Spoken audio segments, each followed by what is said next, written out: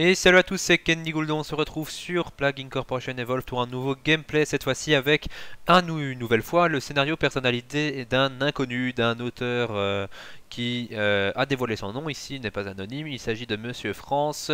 Et son scénario s'appelle L'invasion alien. Résumé de ce petit scénario, donc en 2025, Curiosity rentre de Mars après avoir découvert une bactérie alien. Malheureusement, les scientifiques ont laissé échapper cette bactérie, euh, donc le virus. Euh, comme vous pouvez le voir, il est coté donc 4 étoiles sur 5, ce qui est pas mal, hein, c'est exactement la même chose que mon Alzheimer ou ma tuberculose.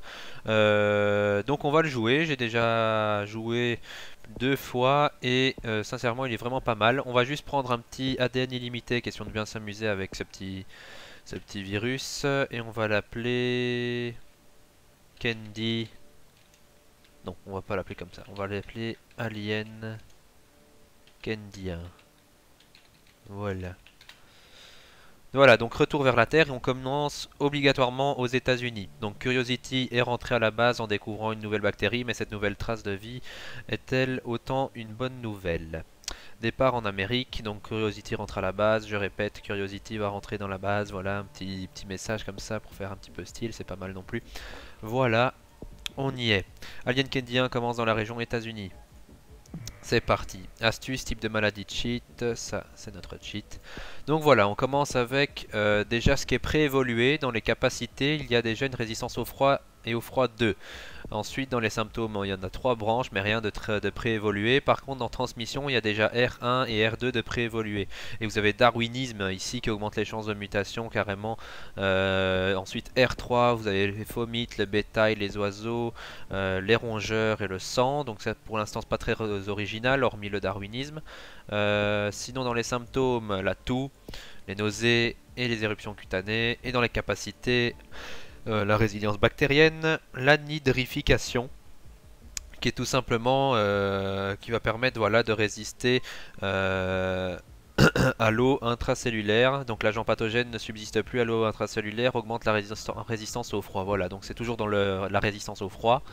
Ici, résistance aux médicaments, au chaud, donc voilà. On va faire à fond la résistance, voilà, l'anhydrification, pardon, débloque ici la décharge d'europuméine. L'agent pathogène produit une nouvelle molécule, l'europuméine, causant une régression complète de l'ADN de Mars, carrément. Voilà, et on en a ici, et si on fait voilà première résistance bactérienne, résistance au chaud évidemment il y a résistance au chaud 2 qui va arriver, et résistance aux médicaments 1, voilà, rien de bien original. On va faire darwinisme, on va faire muter tout ça, on va faire R3, fomite 1, et on va rester là pour l'instant, on va pas tout faire sinon on va se propager beaucoup trop vite. Donc c'est parti. Ouf putain, on se propage déjà très vite, hein. l'éruption cutanée a muté, regardez-moi ça. On a déjà... Euh, oh putain Attendez, attendez On est déjà en train de se propager partout dans le monde. Ce virus là, c'est le plus infectieux du monde, j'ai jamais vu ça. Regardez-moi ça, les états unis sont déjà au complet Oh mon dieu, on est déjà en train de se propager partout. Allez C'est quoi, c'est what the fuck? Oh putain je, rigole parce que là, sincèrement, c'est quand même badass hein, le truc. Euh. on est déjà en train, de se propager aux quatre coins du monde. Regardez le Canada là qui est bientôt euh, complètement infecté. Bon, je vais mettre sans doute en, beaucoup plus lentement parce que sinon ça va aller trop vite. Voilà, on va le mettre en lent parce que sinon euh, on n'est pas sorti de l'auberge. donc dans les symptômes. avec cette euh, décharge d'europuméine, euh, apparaît ici les kystes et également l'hémophilie. Euh, donc les kystes, eh ben, on connaît, hein, donc elles peuvent parfois exploser et propager ainsi la maladie. On va les faire. Ça débloque les abcès et ensuite tumeurs et paralysie. Donc faut faire attention, on entre déjà dans la létalité. Hein. hémophilie, donc ça on connaît, c'est le système immunitaire qui produit des inhibiteurs détruisant le facteur de 8, empêchant la coagulation, l'infectiosité est accrue. Donc là il a, il a bien inventé de petits, de petits textes, c'est pas mal non plus. Hémorragie interne, la lésion des parois artérielle entraîne une hémorragie interne foudroyante suivie du décès. Carrément. Ah oui, d'accord. Attendez, on va se faire rembourser de toute façon. Voilà, on va en rester là. On va pas encore faire de létalité. On va essayer de se propager en mode euh, discret pour l'instant. On va faire éternuement. La fièvre, pas tout de suite. Transpiration, ça va. Vomissement. Lésion cutanée, très très très infectieux là. L'inflammation. La diarrhée. non. La dysenterie non plus. Voilà. On va en rester ici. Ah, bah j'ai de la létalité, c'est quand même pas l'inflammation. Ah bah si, c'est l'inflammation. Bon. bon, on va en rester là. Et ici, ouais. Tous les proches, tout ce qui risque d'évoluer après, bah c'est létal. Euh, transmission, on va faire euh, rongeur, oiseau, bétail 1, 101, 102. Donc voilà, ici c'est tout ce qu'il y a. Euh, Fomite 2, Fomite 3. Ok, ici il y a sans doute une euh, zone aux extrêmes. Dans les capacités, on va faire les résiliences bactériennes. Résistance au chaud 2. Ah, débloque une photosynthèse. L'agent pathogène produit de la chlorophylle, augmentant son autonomie à la lumière du soleil. Oh, et ça débloque l'hibernation. L'agent pathogène se renforce, résistant au climat et particulièrement confortable dans les régions chaudes et froides, carrément les deux. Décharge de protuméine. L'agent pathogène produit une nouvelle molécule, la protuméine, causant une adaptation. Une adaptation il y a faute d'orthographe, donc euh, je vais pas faire de remarques parce que moi aussi je suis abonné à ça. Complète de l'ADN de Mars. Et hop, bim, la dernière, fermentation. Qui sait, c'est peut-être une avancée. On verra ce que ça donne. Et boum, dans les symptômes apparaît une nouvelle branche. L'atrophie neuronale. Perte neuronale qui affecte la concentration, rendant l'exécution de tâches complexes plus difficiles. Les crises qui deviennent létales. L'atrophie neuronale est létale hein, à la base, donc voilà, on a déjà commencé la létalité du coup. La folie, on connaît. Il y a la paranoïa du coup après, ouais. Le coma, pas mal non plus. On va aussi faire euh, Génétique hardening, ça c'est pas traduit, faut qu'il fasse gaffe par contre.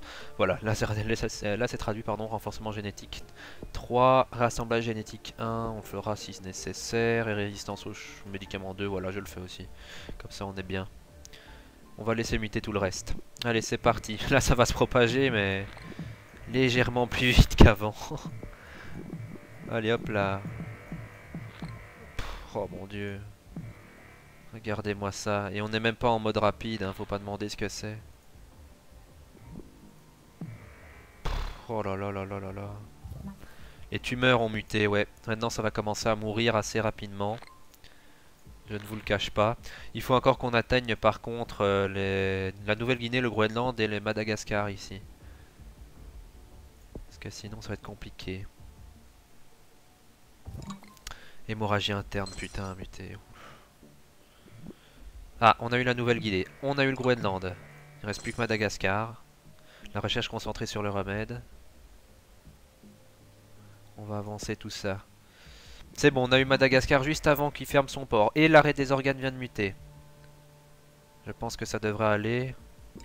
Ouais, maintenant on va faire le max pour que ça... Pour qu'on tue le plus vite possible, plus personne scène dans le monde, bah voilà. Allez, là on met tout. Donc la paranoïa, l'insomnie, la fièvre, le choc hémorragique, la nécrose, suppression immunitaire, paralysie qui débloque une fois ici à l'intersection, la mort instantanée, regardez-moi ça, ça fout carrément la létalité, mais un tiers de la barre de létalité à elle toute seule, dysenterie, diarrhée, on fait tout, tout, tout, tout, tout. Allez, on y va. Plus de personnes saines dans le monde. On va voir la vitesse à laquelle ça va tuer. Oh putain de merde. Regardez-moi ça. C'est pas possible. Oh là là là là là là. C'est sans doute le plus létal que j'ai jamais vu. Oh mon dieu. Alien Kendien va éradiquer les humains, tu m'étonnes. Et voilà, victoire, bien sûr, avec 3 étoiles sur 3, bien sûr. Bah, avec le cheat, c'est pas compliqué. Un score de 158 647 en 188 jours, les amis. On a, on a détruit le monde. Et sincèrement, on aurait pu faire beaucoup plus tôt si on aurait fait évoluer tout d'un coup euh, dès le début. Je suis sûr qu'on aurait détruit le monde en 100 jours. Euh, ça aurait été l'épidémie la, plus brutale et meurtrière du monde. Enfin, pourrait pas le savoir en fait, puisqu'on serait tous morts, mais bon, c'est pas grave.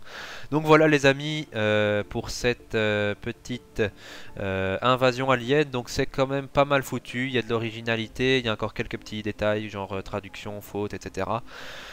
Euh, mais sinon, dans l'ensemble, il est bien. Il est encore en cours de développement, je pense. Donc voilà, il faut aussi laisser le temps aux développeurs de euh, peaufiner tout ça. Donc voilà les amis, merci d'avoir regardé ce gameplay. Évidemment, si vous désirez jouer à ce petit scénario créé par Monsieur France, eh ben, le lien est dans la description pour que vous alliez jeter un petit coup d'œil. En attendant, moi les amis, je vous dis à une prochaine fois. Ciao